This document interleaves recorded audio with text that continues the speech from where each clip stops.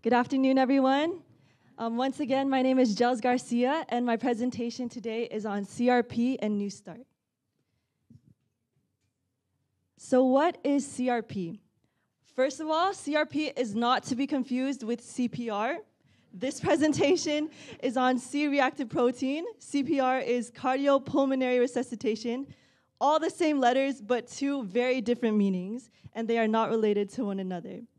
So now that we got that out of the way, CRP or C reactive protein is a strong independent risk factor for cardiovascular disease and a protein marker for inflammation in the bloodstream. It is synthesized in the liver, and when there's inflammation in the body, the liver will release more CRP as a way of protecting the tissues from infection, injury, or disease. So you may think that your family or friends are the first responders to when you get hurt, but really, your body is already working to respond.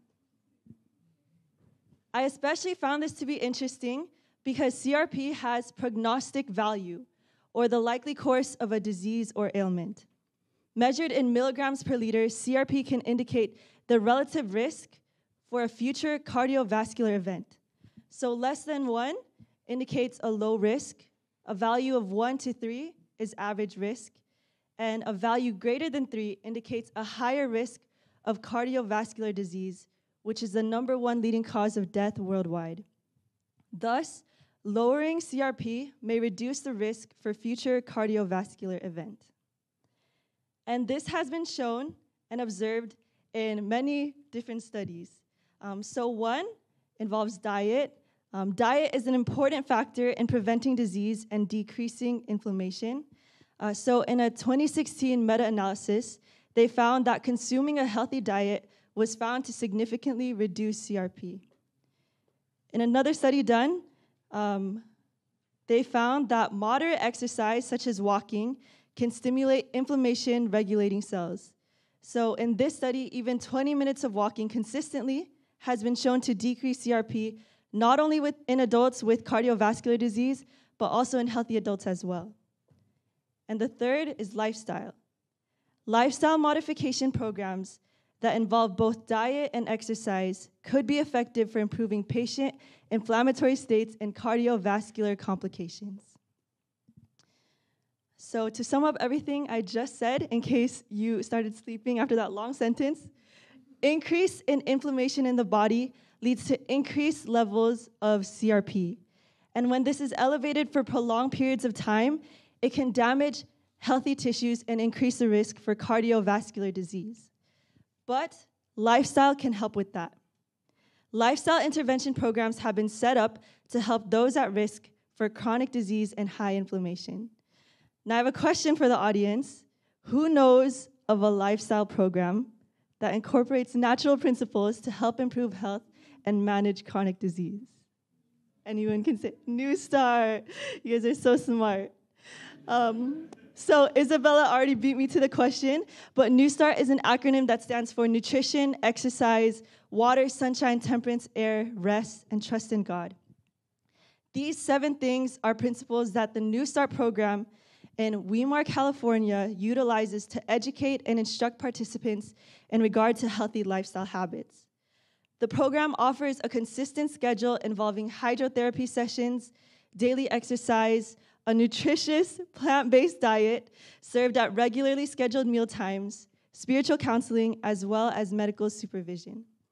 In New Start, patients will learn about simple lifestyle changes that can positively impact their health and their overall well being. So, based on all this information, the purpose of my study was to create a prospective experiment that will assess overall compliance with New START principles and the impact it has on overall blood tests, including CRP. So, in other words, um, will adhering to New START principles more closely have an impact on a patient's CRP levels? The data collected involves CRP tests from patients at the start of the program and when they complete it and compliance is measured through surveys from patients who consent, as well as the New Start staff. So on the screen, you will see the questions from the patient surveys. I'm not sure how much of it you can see. Um, but essentially, each question refers to one principle of New Start by a self assessed scale. In the end, these surveys will be used to find an average compliance score for each patient. Additionally, compliance scores will be given by New Start staff and physicians, and the two will be compared.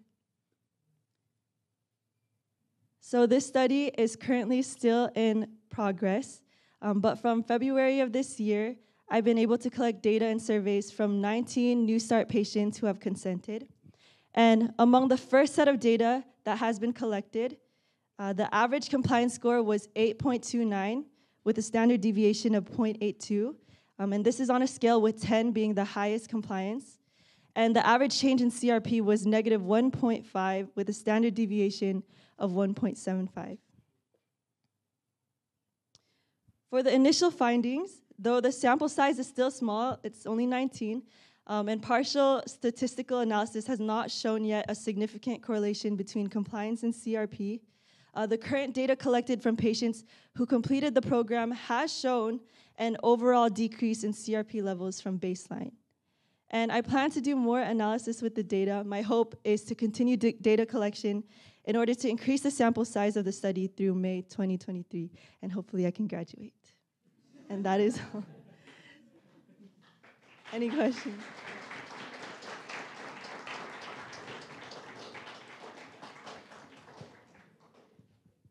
Any question?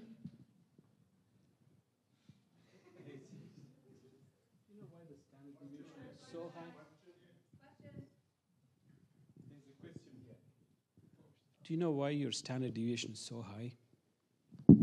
For compliance or CRP?